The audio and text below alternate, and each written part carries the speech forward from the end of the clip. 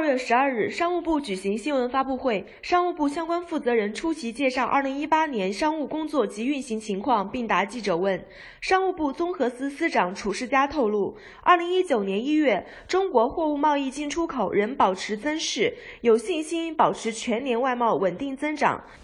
嗯，二零一八年，我国对外贸易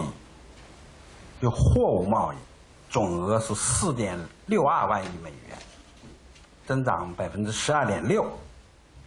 其中出口两点四八万亿美元，进口两点一四万亿美元。这个成绩啊，应当说是超出预期。按计划，海关总署将于本月十四日公布一月中国外贸数据。因去年同期中国进出口总额达二点五一万亿元人民币，同比增速高达百分之十六点二，市场担心基数较高，叠加外部环境不确定不稳定，以及国内经济下行压力加大等因素，将使二零一九年一月中国外贸面临较大压力。褚世佳在当天举行的新闻发布会上透露，根据其掌握的情况，一月中国货物进出口仍保持增长态势。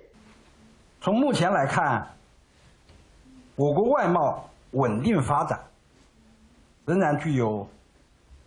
诸多有利因素。一方面，世界经济下行压力虽然加大，但仍将延续缓慢复苏的态势；另一方面，就国内扩大开放、稳外贸政策效应的显现、产业升级加快。企业活力增强等，都为我国外贸发展提供了强有力的支撑。哎，刚才我说到，二零一八年我国货物贸易的增长是超出预期的。二零一九年一月份的货物贸易的数据，海关还没有发布，